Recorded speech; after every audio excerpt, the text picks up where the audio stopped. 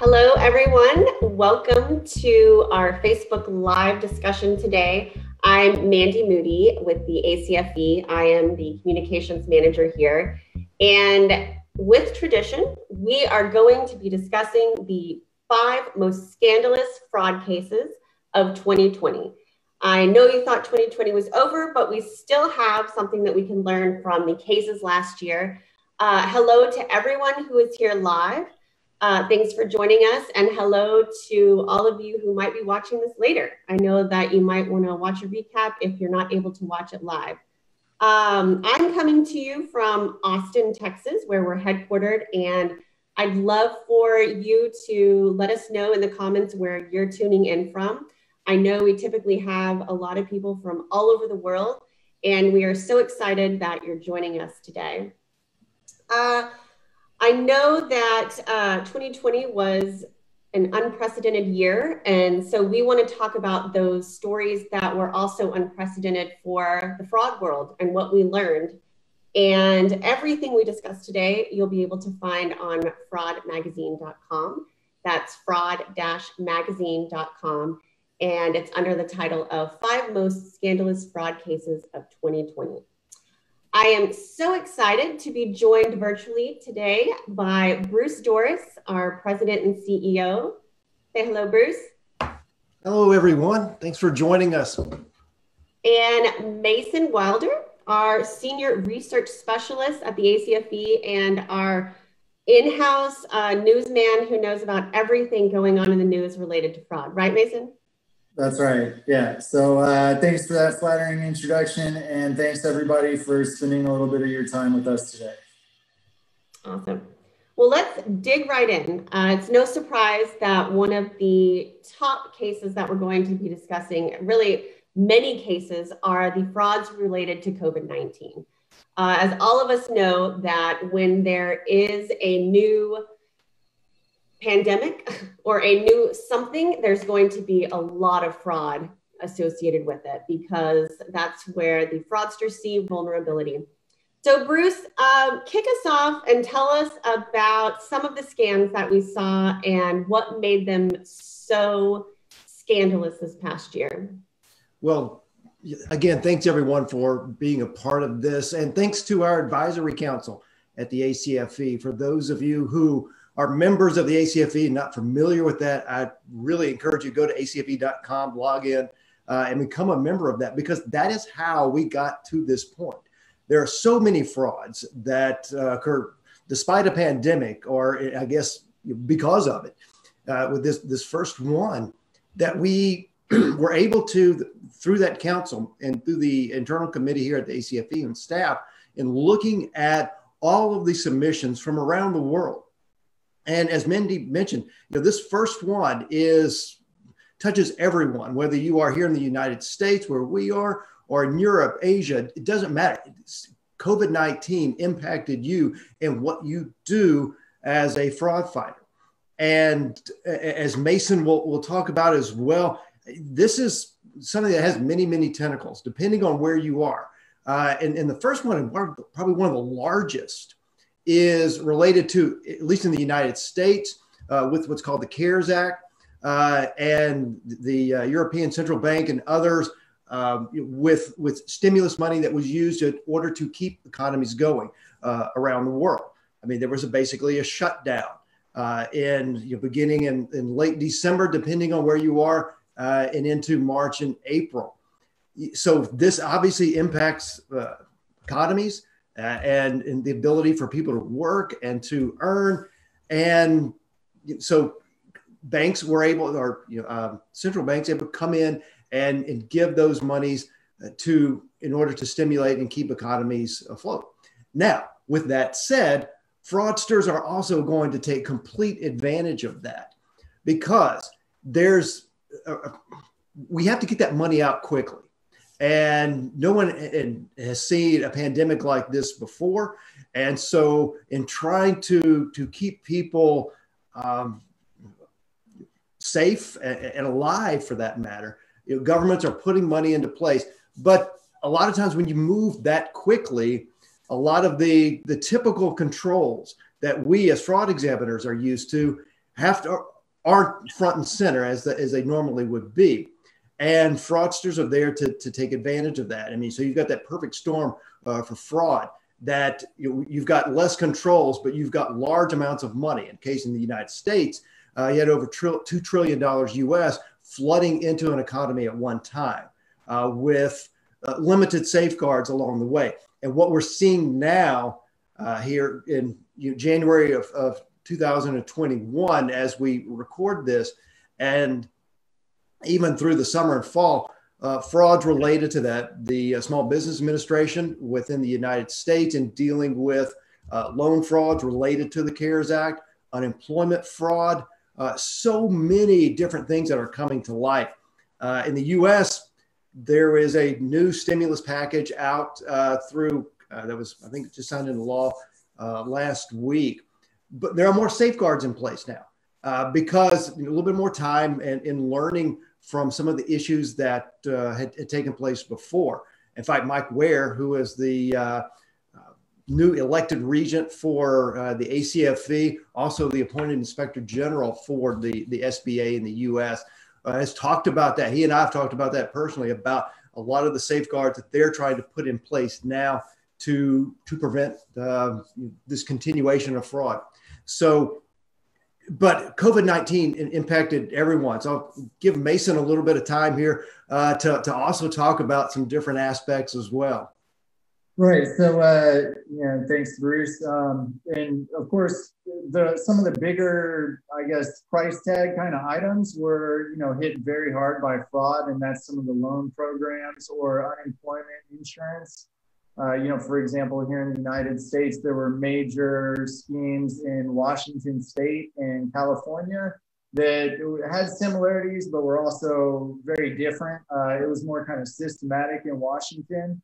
And, you know, it was hundreds of millions of dollars in fraud losses from just unemployment benefits. But luckily, they were able to figure out what was going on and how people were exploiting the application system and shut that down relatively quickly and they re- recovered, you know, several hundred million dollars worth of the losses. So that was that was a positive aspect to that. But aside from just the government benefit programs, uh, this was just, um, I mean, a practically unprecedented explosion of consumer fraud related to one topic here with the, the COVID 19 pandemic. Uh, and it was kind of an evolution and it's still going and still evolving and will continue to do so as long as this is a major news story that affects everybody. Because using anything covid related as a phishing lure or the kind of prompt for a social engineering scheme or just the topic of some other fraud scheme is something that's going to resonate with literally everyone on the planet which is you know really rare but things that we saw were at, at, the beginning, there were it was really heavy on personal protective equipment scams. You know, hospitals and other agencies scrambling to find this PPE, and so there would be fake product listings or companies that were set up to try and get some government contracts, even though they just didn't know what they were doing, and there was a lot of fraud there there were so many different phishing lures or phishing emails, phone calls related to coronavirus tests, coronavirus cures, coronavirus vaccines now, and um, you know also PPE products. And then as everybody is sitting at home and shopping online, there were a ton of fake product listings and e-commerce scams. And I mean, it just goes on and on and on. Uh, some some of the latest statistics put out by the FTC regarding coronavirus or COVID fraud, uh, they indicate that there are more than 300 million in fraud losses reported just in the United States alone, and almost 320,000 individual reports of fraud related to COVID uh, with the average loss being about $300. And online shopping was the top category of complaint by a pretty significant margin. But, uh, you know, every disaster produces disaster fraud. And this was just a, a whole different level with the variety of schemes targeting different industries, services, uh, so many different prompts, and they're still going to continue evolving and affecting people. So, um, and and I don't think, and once COVID is hopefully in the rearview mirror, uh, I think some fraudsters will adapt their tactics um, based on what they learned during the pandemic, whenever the next crisis or disaster comes around. So, uh, you know, um, we're still not through the worst of it yet, and um, things are just. We're going to continue to see a wide variety of fraud scams ripped from the headlines, just so that they really resonate with everybody. Mason, so you mentioned. Oh, go ahead, Bruce. I, I, just wanted to elaborate on what he had just said there. I mean, we have had to uh, completely adapt where we had been before uh, in terms of our investigations, our fraud prevention, because we're now all working remotely, depending on where you are. In, in some areas of the world, coming back slowly, but still, it, it, it changed our way and, and, how we're able to go in and fight fraud. Uh, you know, so with all of that, knowing that this, as, as Mason said, this will continue for a while. Uh, I, I, look back about 10 plus years ago here in the US uh, after the financial crisis in 08 and, and 2009. And, and with you know, the amount of money, and of course, it was just a, a pittance of what it is now. We think about $800 billion US going into an economy related to the financial crisis then. Uh, seems small almost in comparison. But with the, the SIGTARP, the Inspector General for uh, all of these monies coming in, in, in terms, that group is still alive and working. Uh, it's not as, as robust and, and large as it was 10 years ago, but it's still around. And so when you start thinking about the amount of monies coming into the economies to help and fraudsters going after that, this is this is going to take a while to, to unwind. Yeah. No, that's exactly what I was going to ask you about. So you answered my question. um, yeah, there are going to be a lot of fraud examiners that uh, are going to have careers pretty much solely focused on investigating fraud related to COVID benefit programs for the next decade or so, I think. Yeah. So let's move on. We could probably talk about coronavirus related frauds uh, for another few hours. Yeah. And I think uh, Courtney posted in our messages, you can find a lot of the resources we've created at acfe.com slash coronavirus. And as always, um, a huge reminder to use you know these outlets like facebook our online community uh, to to talk with other fraud fighters from around the world about what what they're doing um, in their cases and what they're seeing uh, to use that group to get information that could help you in your own cases. So, our second scandalous fraud case of 2020 is Wirecard. And this one is just, I mean, this will be a movie. I think we can all agree that this will some someday be a movie, someday star somebody, you know, really famous. $2 billion went missing. Now we have a missing COO. Mason, tell us quickly what happened for those people who don't aren't familiar and where are we now? Right. So really at the at the heart of this is financial statement fraud, where company leadership in, inflated assets uh, so that they could attract investment and help grow the company. Uh, this is a Wirecard is a German financial technology or fintech company that was uh, working with a lot of different third parties all over the world uh, on like payment processing technologies and services. But uh, they had they had grown. They were a European tech darling, and um, nothing but positive uh, reviews and and hype and everything. And uh, then all of a sudden, I think, uh, if I'm not mistaken, working on some tips, an investigative reporter from the Financial Times named Dan McCrum wrote a series of articles. I think the first one was back in January 2019.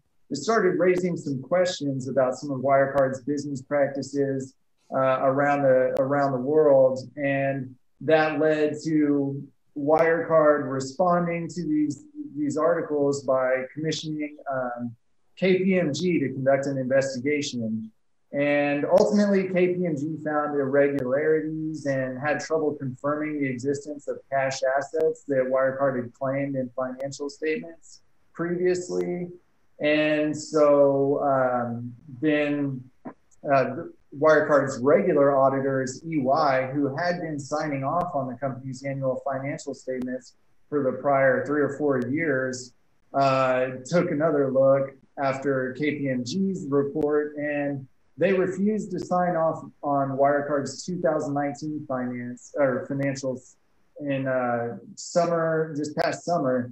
And that's when the wheels just came off of the whole Wirecard uh, scheme. There was, and it all related to $2 billion in cash assets that Wirecard claimed were just sitting in bank accounts in the Philippines and uh, EY had apparently just been relying on documentation provided by Wirecard um, or those banks and not, um, you know, doing any independent investigation or confirmation of those balances.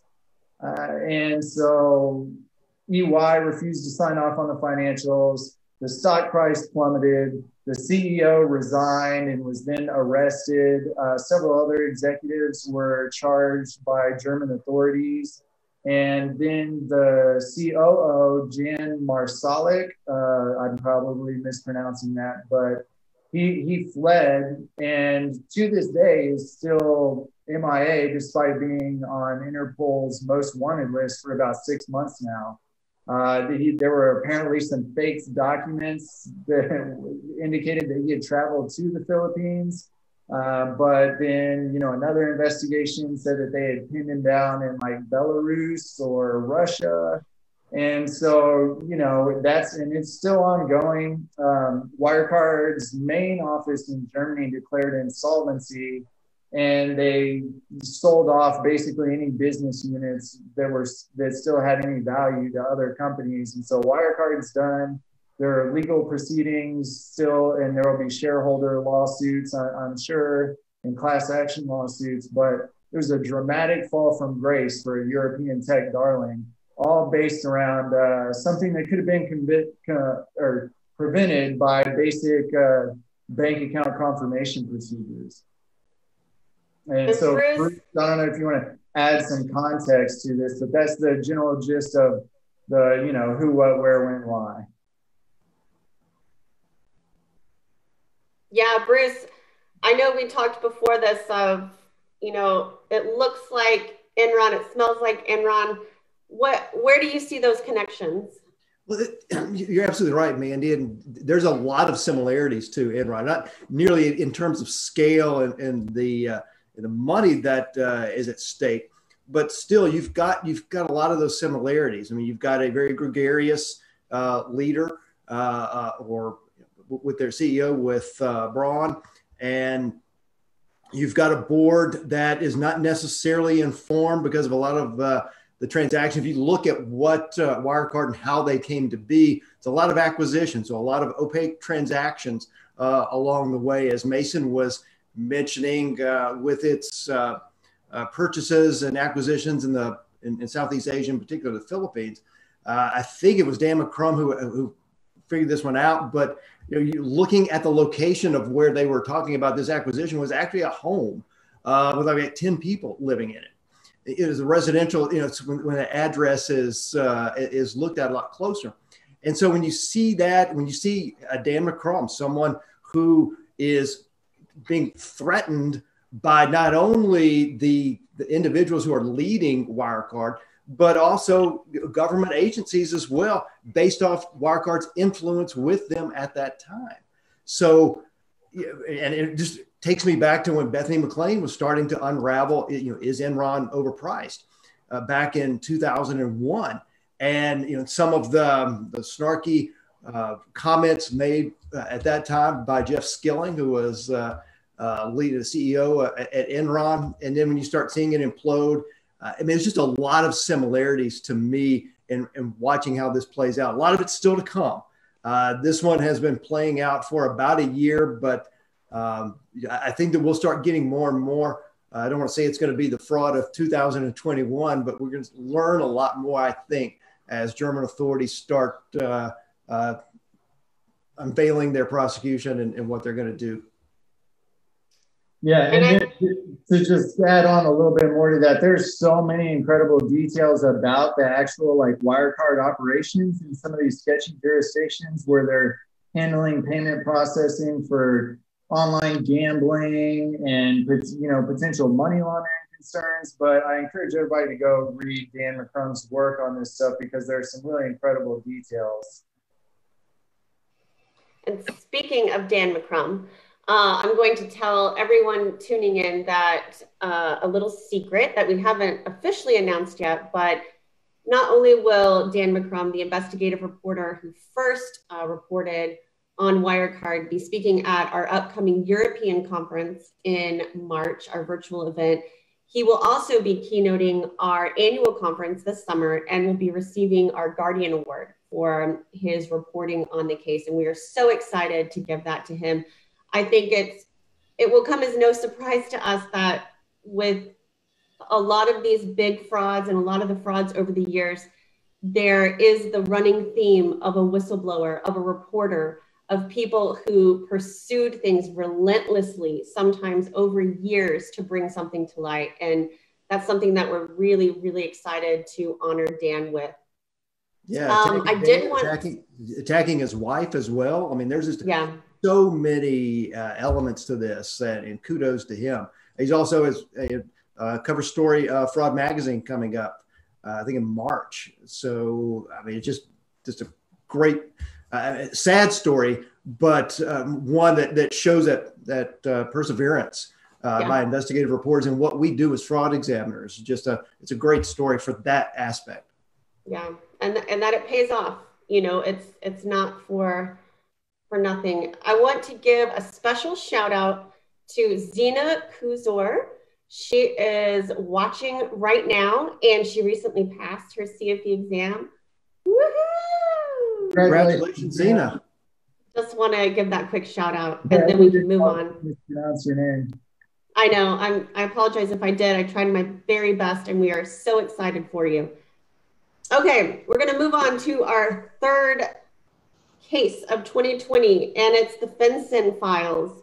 Uh, a lot of people remember the um, Panama Papers, the Paradise Papers, the Luanda leaks, and our latest edition of leaked documents from the ICIJ are the FinCEN files and really put a spotlight on money laundering. Mason, kick us off. All right, yeah, and uh, you know we're not going to go super duper in depth on all this stuff, uh, but you know there's I know I've written an article for the Fraud Examiner newsletter about it. Uh, there's you can just go to fincenfiles.com and read all the series of stories that have come out of uh, the kind of investigation. But so, yeah, this is just like Wirecard, um, kind of reporter driven or investigative reporter driven story. And that main reporter is Jason Leopold with BuzzFeed News, who coincidentally I'm going to be doing a webinar with uh, about the FinCEN files in about an hour or so. Um, and so that, you know, feel free to tune into that if you aren't sick of me by the end of this, or um, you can watch it on demand later. Anyways, uh, so he was contacted by a whistleblower who delivered to him about 2,100 suspicious activity reports, which those are documents that financial institutions are required to file with FinCEN or the Financial Crimes Enforcement Unit, which is the United States Financial Intelligence Unit. Uh, so any suspicious transactions or things that are red flags of money laundering, uh, banks are supposed to be filling these out and giving them to, to FinCEN. So they got their hands on 2,100 of them. And then Leopold brought in the ICIJ, which is the international consortium of investigative journalists that have produced the Panama and Paradise Papers and Luanda leaks. So he got them all together, about 400 journalists, started going through these documents, doing follow up interviews and investigation and, and reporting out all the different threads of these stories. But it's really, you know, that amount of suspicious activity reports is a very small fraction of the amount of the total amount that FinCEN receives And just that small portion represented about $2 trillion of potentially illicit funds that were moved through big banks, big international financial institutions for drug dealers, terrorists, kleptocrats, politicians, and a variety of other bad actors, organized criminals. Uh, and, you know, in some cases, these were the banks that had previously been warned by authorities about not fulfilling their anti-money laundering obligations or not complying with regulations and doing business with people they shouldn't be doing business with. And in some cases, these banks were carrying out these transactions while under a deferred prosecution agreement for previous violations, um, you know, with the U.S. Department of Justice. Uh, some of the banks that were featured most prominently in this specific report were Deutsche Bank, JP Morgan, HSBC, Standard Chartered. Um, those those were the the main ones, and you know, it just it really shows how big of a problem money laundering is and how difficult it is to to to get these banks to really crack down on it um, and you know how prevalent it is and so there's it's generated a lot of calls for improved or uh, enhanced regulations. And especially with shell companies which have been a major feature of all these uh, reports like the panama papers and paradise papers. And the us did just recently pass the corporate transparency act which should make it much more difficult to set up shell companies where the beneficial ownership is you know hidden or obscured. And so hopefully that will help with this but um, you know, it's a, big story. There's there's lots of resources to read further into it, and you know, if you're if you don't have anything to do in an hour, you can hear it straight from Jason Leopold too, as I talk to him. Yeah, to, to Mason's point, that recently out of the, the uh, I think it was the Defense Act, if that's uh, correct, uh, Mason, with yeah, a lot of that related to shell yeah. companies and getting that information out and making it more transparent. Uh, and it's a huge step forward in AML. And I think Mason, you may even be going over that more in your webinar here shortly. But I think that's a tremendous impact because if you look at back all the SARS related to this, um, to the FinCEN files, I mean, it goes back probably what, 10 years, I think. Uh, oh, yeah. the earliest ones were from 1999, I think. Uh, even more. Okay. Um, so I think that coupled with that and with the new legislation, at least in the U.S., and you'll probably see some adoption uh, around the world as well. I think that we're going to take some step forwards in terms of, um, the, the, at least from the anti-fraud uh, side of things, and getting some more transparency in, in, shell companies. I know that a lot of members deal with this issue uh, and are experts in this issue, and so um, it's a good step forward. Happened just within the last couple of weeks, but uh, you know we'll be getting more information out for you uh, as members very very soon. In fact, in an hour, if you're watching live right now with Mason. Mason is our uh, ACFE celebrity. He's just, he's everywhere. Yeah, I guess so. Uh... uh, let's move on to Airbus. Uh, I know Airbus was actually the largest fine ever recorded in a bribery case last year. And Bruce, tell us a little bit about how this was a lot about teamwork and, you know, multiple different countries doing different things but working together and, and what we saw with Airbus. Yeah, when you look at the Airbus scandal, uh, it, you know, like a lot of things, you know, it had gone on for a number of years. Uh, some self reporting also associated with Airbus and how this came to light. But as Mandy, as you mentioned, it was about a $4 billion fine collectively. That's with the United States, uh, the UK, and, and, France. But going back and looking at violations of, at least within the US Foreign Corrupt Practices Act, UK Bribery Act, and how they were trying to get not just defense contracts uh, within uh, China and in other countries as well, and in commercial aviation too. I mean, you, you a lot of bribes uh, associated with this, a lot of luxury trips for officials uh, in various countries. But there, again, there was a, um, a self-reporting. And so if you think about that in, in terms of a compliance side and whether or not had they not uh, had that aspect what would that that uh, amount have been. Uh, when you're looking at, you know, the primary uh, amount of that 4 billion US uh, was in France. But to your point, Mandy, when you've got that collective, I guess, synergy between the US, the UK, uh, and the France government uh, coming together to fight fraud and to share that information, that is something that we have really pushed at the ACFE for a long, long time. Uh, if you look at acfe.com in terms of our law enforcement and government alliance and how we're able to pull different agencies together, man, I know going back when I was a prosecutor uh, many, many years ago uh, within the US, how federal, state, and local law enforcement come together in order to you know, fight, at least in my case, in terms of uh, financial crimes. But watching and seeing how this uh, the jurisdictions of various countries come together, uh, you know, especially with a company like Airbus, who is around the world, uh, and in pulling that together, it's a good sign that you know we're. And this was back in I think in January of 2020, but you know, a little bit more challenging and with in the COVID world. But it's a good good sign to show how collaborative the various governments and regulators are. Yeah, and and one, uh, one another potential takeaway uh, from this a good anti-fraud angle for other similar corporations that are multinational, big, you know, corporations.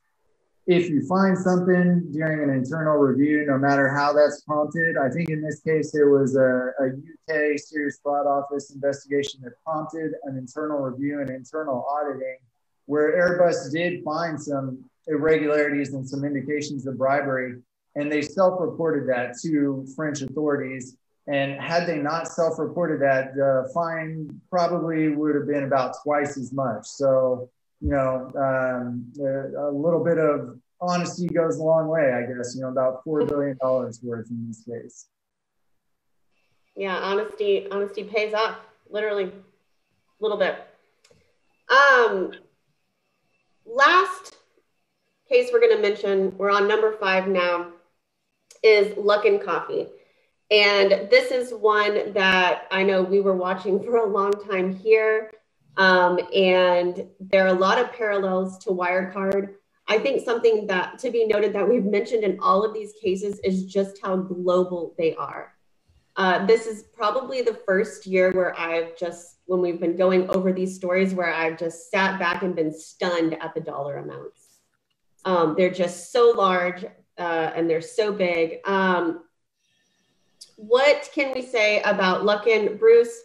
Um, I know there are a lot of fabricated financials. What happened with Luckin and, and what's going on now? Yeah, I mean, this is one of my, I don't want to say favorite fraud, but it of 2020, the ones that really stood out to me, and I've been following this one for a number of months with Luckin Coffee, uh, you know, the, the, the, Starbucks of China, uh, as it's been dubbed many times. Uh, you've got um, I think it was about a 300 plus million dollars US uh, overstatement of revenue. Uh, and it, what with, with this particular company was growing incredibly fast and looking at some a lot of the aggressive um, push uh, in terms of opening up kiosks with a little bit lower cost than the traditional uh, shop uh, over the last couple of years, uh, especially. And a lot of deep discounts in terms of the price of the coffee as it was being. And so you, you, start thinking about it, and a lot of research analysts, uh, Muddy Waters being one of them, really starting to, to look at it. This is about a year ago now, of like, hey, how are you able to really sustain this type of uh, net income based off what we're seeing here?